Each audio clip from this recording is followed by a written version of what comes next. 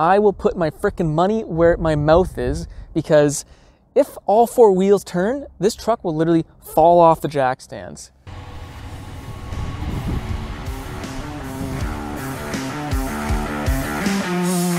What's going on guys? Welcome back to the channel.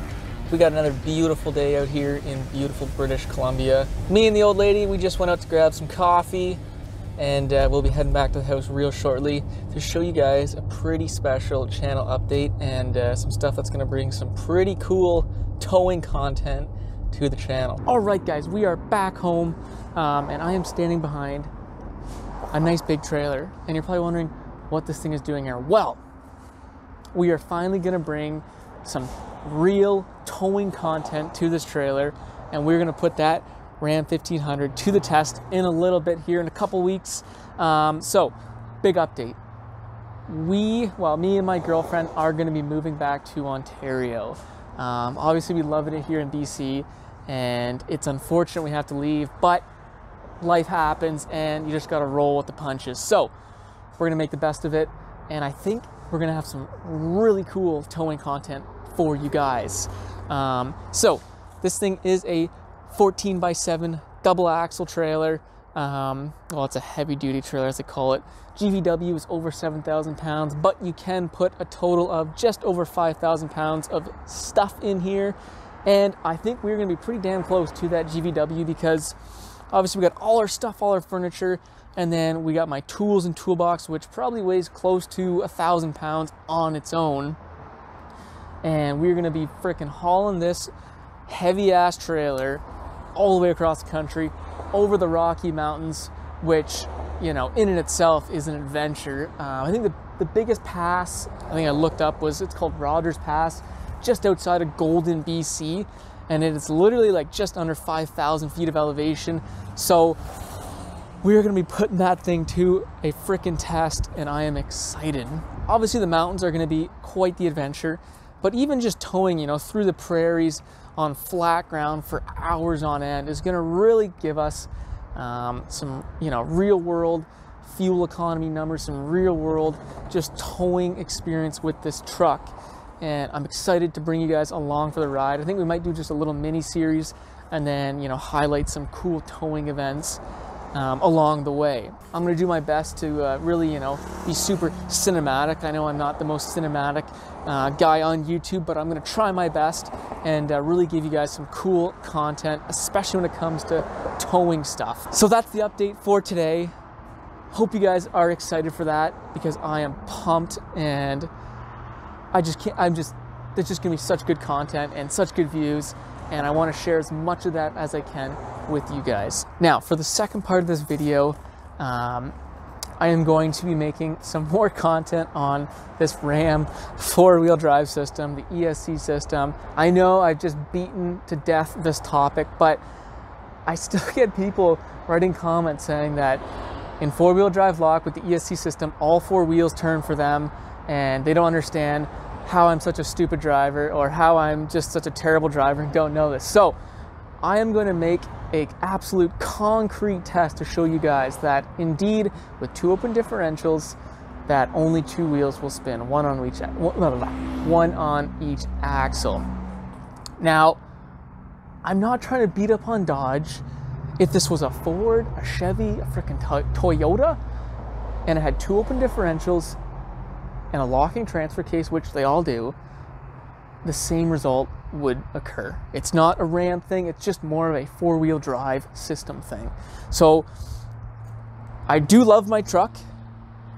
I'm not trying to beat up on it, but I just I just really want to make a clear picture for you guys. Now, if you guys are tired of me talking about the four-wheel drive system, it's all good. Don't have to watch it. But for you guys that are interested, I will uh, leave that footage here for you guys right now.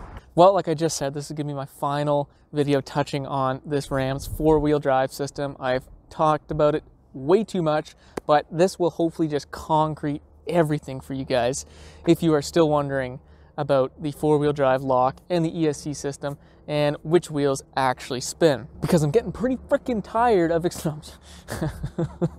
Jeez.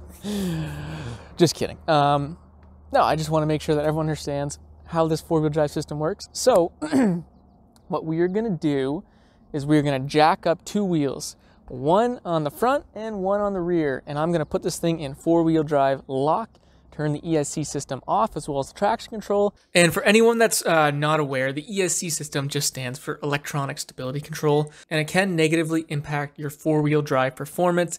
Basically, in some situations, it'll hinder or cut power to your front drive shaft. I made a video which I will drop down in the description, um, basically just talking about how to fully turn off the ESC system and um, going over a little bit more details involving the whole system in general, um, if you guys want to check that out. I will put my freaking money where my mouth is because if all four wheels turn, this truck will literally fall off the jack stands. If only two wheels spin, this thing will stay perfectly jacked up and there'll be no issues. So that's what we're going to be doing. We'll see. Maybe I'll uh, break my truck. Maybe, maybe I'm still right. That's what we're here to find out.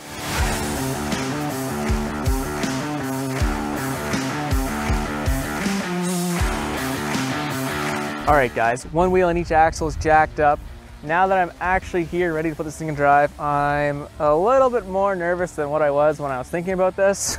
so, I mean, hopefully everything goes like I said it would. I think it will. So yeah, that wheel's in the air. And then yeah, this driver's side wheel's in the air as well. So ideally, those two wheels will just spin in four-wheel drive locked with the ESC system off. If I am indeed wrong, this truck's gonna come off the jacks. Hopefully not hurt anything too bad, but uh, like I said, I'm gonna put my money where my mouth is and really try to show you guys um, that this is a concrete fact. All right, this was a little try run just for my own confidence. Uh, only in two-wheel drive. I just wanted to see if the truck would, would move at all.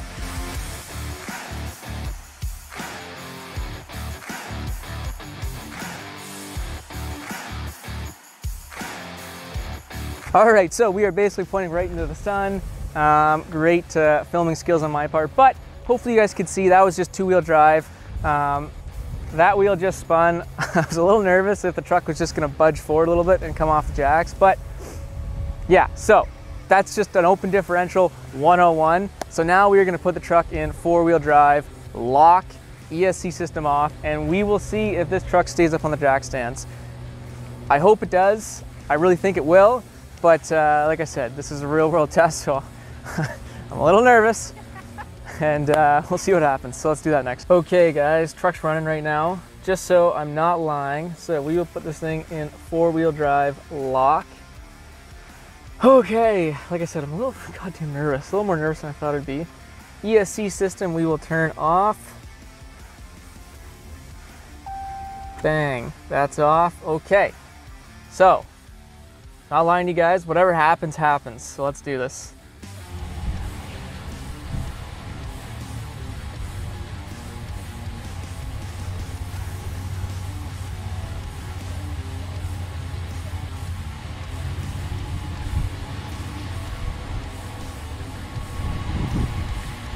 As you can hopefully see, this wheel is just free spinning.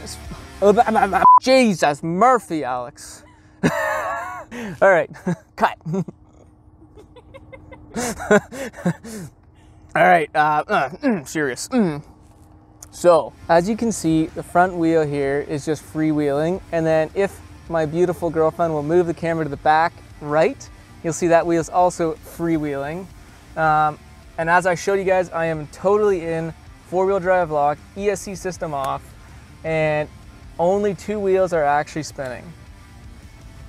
So I know I've probably beat this topic um, to absolute death, but I just get a lot of comments saying that I'm not doing it right, I don't know how to drive, so I just want to put that to bed. I promise this will be the last thing I ever talk about with the ESC system on this truck, but this is the most concrete explanation I can give to you guys that indeed only two wheels will actually spin if you have two open differentials.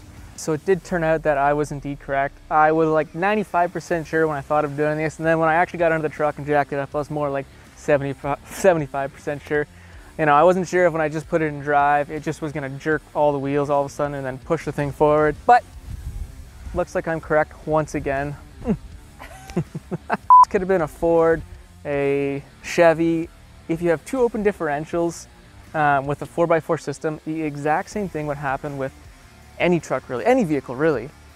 Um, so it's not that I'm trying to hate on Dodge, it's just the truck I own. So it's the truck I can explain to you guys what happens with two open differentials. So as always, I'm looking forward to your comments down below. Uh, let me know what you think. Uh, I think this is the probably the most concrete test I've ever done. Uh, it doesn't get much more simplified than this, and uh, hope you guys liked it. So I hope that clip helped anyone who was still kind of confused that all four wheels didn't spin um, with this Ram 1500 setup. It's not to say that the ESC system when you're stuck doesn't do anything. I've already made a couple videos on that. It does indeed help. It helps to truly lock up that transfer case and send full power to your front drive shaft. But once the power arrives to your differentials, there is nothing electronical that can improve open differentials. Go under your trucks if you don't believe me. Look at your front and rear diff. There are no wires going to them. It is purely just your drive shaft coming in and the power being split between two axles. And in that differential, there's only mechanical action. And with an open differential, you know what you're gonna get. One wheel is gonna get more power than the other in most situations.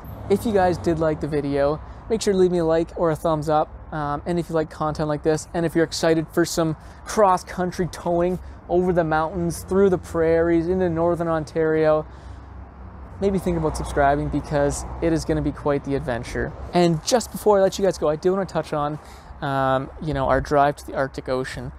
Unfortunately, it just isn't going to come to fruition. Um, you know, with me being back in Ontario, it just doesn't make sense driving all that way. And especially because the Yukon border right now, um, they are very finicky with COVID. You have to do a full two week quarantine, even if you're coming from Canada. But if you come from a different province, you have to do a full two week quarantine. And I just don't see that exactly lifting uh, by next winter. Um, so unfortunately, we aren't going to be able to drive to the, to the Arctic Ocean. I was really hoping to take you guys along for that adventure, but um, it just doesn't look like it's going to happen. So unfortunately, no Arctic Ocean, but I hope you guys are excited for a cross Canada towing adventure. Um, and with that, I will see you guys on the next freaking video.